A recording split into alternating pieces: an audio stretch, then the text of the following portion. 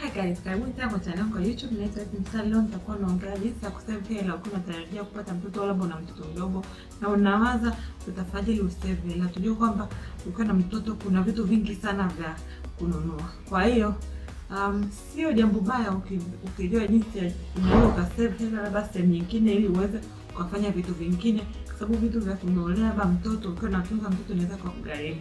Karibuni. Um, nina mtoto mdogo ana mwaka na miezi kadhaa. Um, kwa hiyo nimejifunza mambo mengi sana tangia kabla sijapata mtoto mpaka leo. Kuna vitu vingi ambavyo nimejifunza ambavyo vinanisaidia ili niweze nikasave hela. Tujue kwamba watoto wanahitaji hela kwenye kununua vitu fulani fulani. Kwa hiyo kuna vitu ambavyo nimeweza kuvifanya ili niweze nikasave hela kwa ajili ya vitu vingine ambavyo ninataka kufanya. Jambo la kwanza ambalo unaweza kufanya ni kwamba unaweza kununua nguo za mtumba. Na kusema kweli tulikuwa tunatarajia mtoto wetu, ndio kuna nguo ambazo tulizioda nje, lakini baadaye mimi mwenyewe nikawa tunajisikia ni kwa nini siende kwenye masoko ya mtumba au kwenye maduka nikaangalia gharama ya nguo ni nini, ni gani, na kama ninaweza nikanunua nguo nyingine ili niweze nikaongezea hizi ambazo tulikuwa tayari tushanunua. Na nilichogundua kwenye mtumba kuna nguo nyingi ambazo ni uh, gharama nafuu sana, unaweza kupata nguo za elfu mbili za elfu tatu. Yaani sio hela nyingi sana ukiweza kwenda kwenye kununua kwenye hizi nguo za mtu mbalimbali tu umezifua vizuri, kama si ni deto au nini, umeweza ukazifua vizuri kabisa, nadhani hazina shida sana. After all, watoto huwa wanakuwa haraka sana. Kwa hiyo kama ukiweza ku- kununua nguo zingine za mtumba ambao ni za bei rahisi, itakusaidia kusave hela, kwa sababu vitu vya kununua ukiwa mtoto ni vingi sana. Jambo la pili ambalo naweza kwa likakusaidia ili uweze kusave hela ni kwamba ukiwa unanunua nguo za mtoto uweze ukashop um, size mbalimbali. Mimi nilipokwenda kufanya shopping ya mtoto nilikuwa kabisa ninaenda ndio naenda naenda kutafuta nguo, lakini nikishamaliza najua kabisa naanza naanza kuzipanga, labda hizi za mpaka miezi mitatu, hizi za mpaka miezi sita, hizi za mpaka miezi tisa, hizi za mpaka miezi kumi na mbili. Kwa hiyo mimi nikawa nanunua nguo, si- siendi tu kununua za size fulani, au siendi tu kwamba nikipata nguo yote nanunua, naenda kabisa kwamba nawaza kwamba lazima ninunue za haya makundi tofauti. Watoto huwa wanakuwa haraka sana. Kwa hiyo ukinunua labda nguo labda tu mpaka miezi mitatu, baada ya miezi miwili au ukuta mtoto wako labda ni mkubwa, unakuta zile ndogo ulizonunua hazimtoshi, inabidi tena uende ukanunua nguo zingine. Kwa wakati unafanya shopping, una uweke ile wazo kichwani kwamba unanunua nguo za miezi tofauti tofauti, na ukizinunua wote kwa wakati mmoja itakusaidia pia kujua kwamba labda kundi hili nimenunua nyingi sana, kundi hili sijanunua nyingi, uweze kuongezea. Kwa hiyo nilikuwa ninafanya hivyo, nilikuwa ninafanya kabisa hiyo shopping kwamba kila nikinunua nguo lazima niangalie kwamba nimenoza za um, makundi kadhaa kadhaa, hii za miezi mitatu, sita, au mwaka. Yani nilikuwa ninaweka kabisa na ninajua kabisa nisije nikazidisha kundi moja, ili sio kwamba kama nimetoka kujifungua baada ya miezi miwili sina nguo, naanza tena kutafuta nguo, wakati nilikuwa na muda wote kabla sijajifungua kwenda kutafuta nguo na nilikuwa na huu muda kwamba kama sipendi naweza nikaenda kesho yake. Jambo la tatu ambalo unaweza ukafanya um, kwenye hii swala la kununua nguo ni kwamba tafakari kama unaweza ukanunua nguo za mwaka mzima. Um, kwenye mimi nilipanda shopping nilikuwa najua kabisa nataka kununua kila siku kuja kufanya shopping. Labda mimi nimevivu lakini kwa step kufanya shopping. Kwa kila siku. Kwa hiyo nilipokuwa ninaenda kununua nguo naenda kabisa kufanya shopping kwamba ninaenda kununua za mwaka mzima. Kwa na baada ya hapo kwa sababu nilikuwa nina za makundi kadhaa kadhaa, nakuja nyumbani zinafuliwa, nikaa nikaa kabisa kwenye maboksi. Nikiwa mtoto ameshakuwa kidogo, hizi nguo zinambaa ni kiasi tu cha kutoa boksi, kulishusha boksi chini, haya tunaanza kutumia nguo hizi. Yaani mara nyingi sana um, hi- hii ukishafanya shopping labda kwa mwaka mzima, kwa sababu uendi dukani mara nyingi sana, unakuwa una save kwa sababu tuseme ukweli, ukiwa na mtoto kila siku ukienda shopping lazima utakuta nguo nzuri zaidi. Kwa hiyo kwa sababu nilikuwa nimeshapunguza zile chips zangu za kwenda shopping ili nisiende tu, kwa sababu siku yote ukienda lazima utakuta nguo nzuri ambayo una- unaona kabisa hey, jamani hapa ni nzuri, naweza nikanona. Kama sio gari, unaweza kujikuta na nguo nyingi sana, anazivaa mara moja au mara mbili, alafu zimeshavua. Kwa hiyo mimi nilifanya shopping kwa ajili ya mwaka mzima. Jambo lingine ambalo unaweza ukafanya ukiwa unafanya ukiwa na ili usave, yani kwamba labda watu ambao wanataka kukununulia zawadi, unaweza ukawaambia kwamba uh, unataka zawadi gani. Wewe umesha labda umeshanunua vitu vitu fulani, unaweza ukaambia kwamba mimi bado hichi na hichi na hichi. Kama wanaweza kukununulia waka, wakatoa kama wanataka kununulia, unaweza kukununulia, au kama hela haitoshi, wewe unaongezea ili hicho kitu unachotaka uweze ukakinunua. Mimi nakumbuka labda dada yangu au mama yangu watoa, sababu nilikuwa ninajua wanataka kama anaenda kufanya shopping, nilikuwa naambia kabisa uh, labda mimi nimeshanunua nguo nyingi sana za miezi mitatu, kwao tafadhali mkienda shopping naomba mnunulie labda nguo za mpaka miezi sita mwaka, kwao nilikuwa ninaambia kabisa labda hichi na hichi ndo bado sijanunua, au labda baby show ndo bado sijanunua. Kwao walikuwa wakienda shopping wanajua labda hichi ndo bado sijanunua na hichi ndo wanaweza wanunua. Of course then wengine hawatataka kufanya hivyo, lakini kama una watu ambao ni wanakuelewa hawamind, kwa sababu mimi ndugu zangu hawamind. Kwa hiyo nilikuwa tu nimeambia jamani, bado hichi bado hichi hivi vingine nishanunua, tafadhali msinunue labda hichi, na alikuwa ananunua. Kwa hiyo inanisaidia na mimi kusave hela kuliko usipomwambia labda mtu anaweza akakununua kitu ambacho wewe tayari unacho.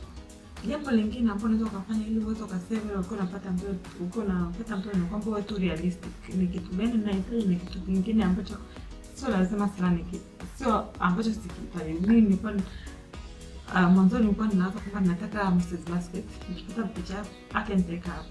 Nilikuwa nataka Mrs. Basket lakini pia nilikuwa bado sijanunua kitanda. Kwa hiyo nilikuwa nina Mrs. Basket kitanda nilikuwa ninawaza hivi au ninunue vyote. Lakini nika nikaona Mrs. Basket mara nyingi sana mtoto anamtumia mpaka miezi sita.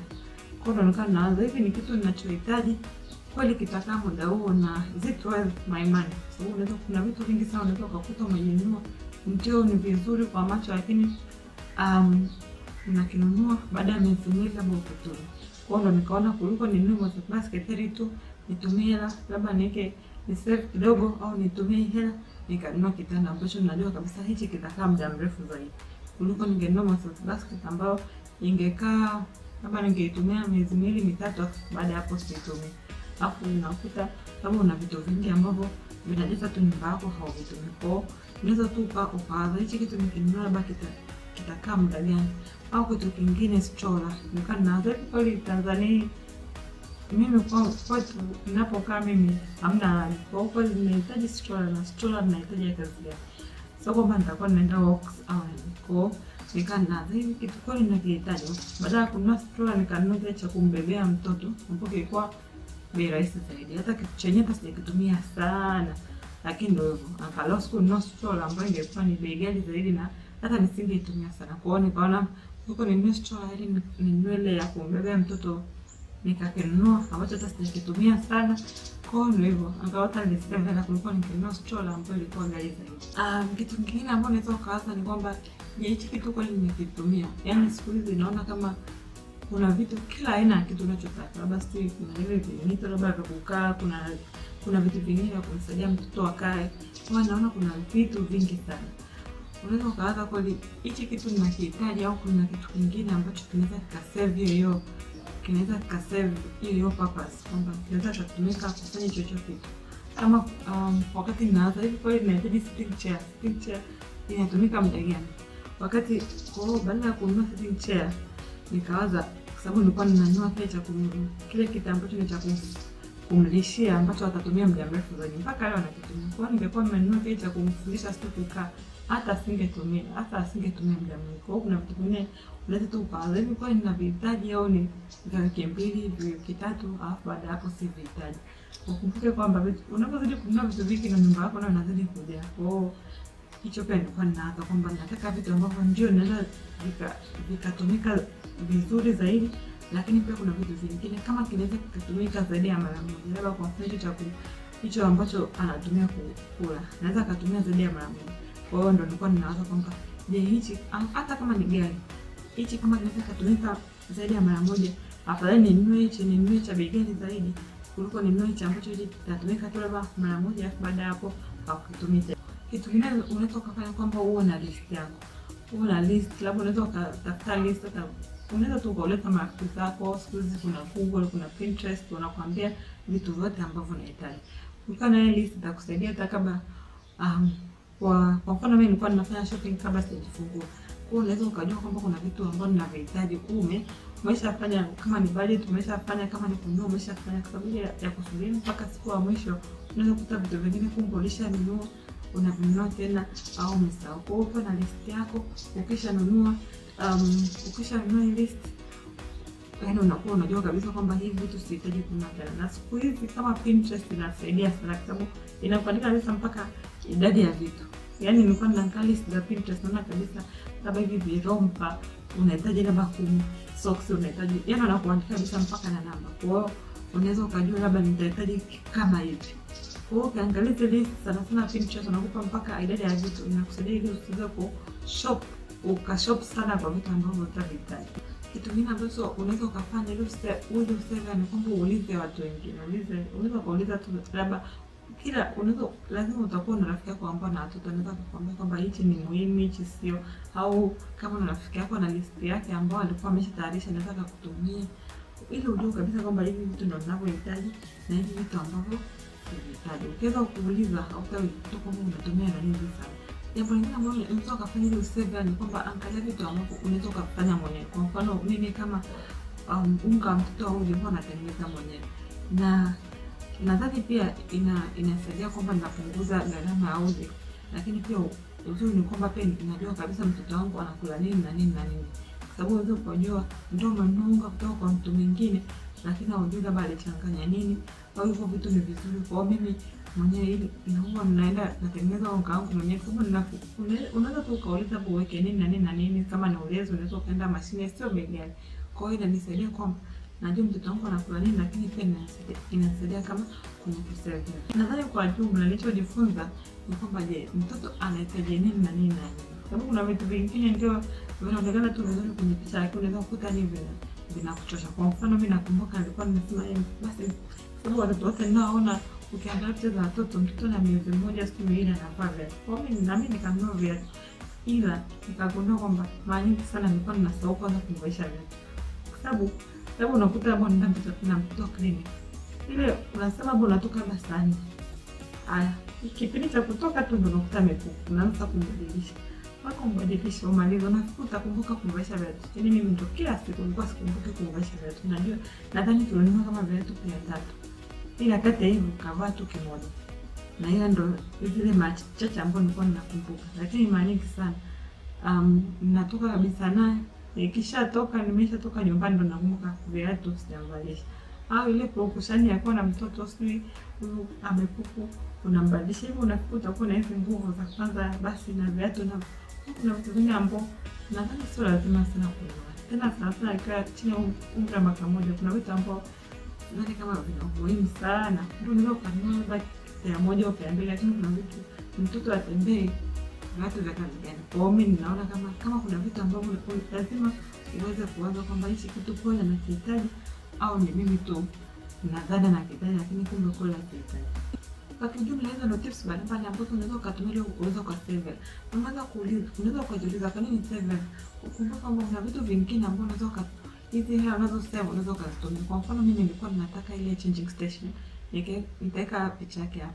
Kwa hiyo nilikuwa tu nataka kwa sababu nilikuwa ninajua kwamba itanirahisishia mambo na mgongo wangu. Kwa hiyo kuna vitu ambavyo nilikuwa ninataka ambavyo nilikuwa ninajua vitakuwa gharama. Kwa hiyo nilikuwa tu ninaangalia kwamba ni vitu gani ambao sio ambao ninaweza nikasave hela havina umuhimu sana, ili naweza nikanunua vitu vingine ambavyo ninaona kama ni vya umuhimu. Kwa kweli changing station pa, yani hata sijutii kuinunua, ingawa ilikuwa ni ghali kidogo, lakini sijutii. Kwa hiyo lazima unaweza ukafanya vitu vingine, unaweza ukaamua kwamba una save hela ili uweze ukanunua vitu vingine ambao mtu mwingine anaweza tu akaona labda hiyo ni luxury, sio umuhimu, lakini kama unaweza ukasave hela huku ili uweze ukanunua vitu vingine ambavyo unaona ni muhimu, inaweza ikawa nzuri kwako. Haya ndio yote kwa leo. Je, naona tips gani hapo ambazo unazitumia ili uweze ukasave hela ukiwa na mtoto? Kama umeipenda hii video, tafadhali like. Kama bado hujasubscribe kwenye channel yangu, tafadhali subscribe. Asanteni kwa leo na kwaherini.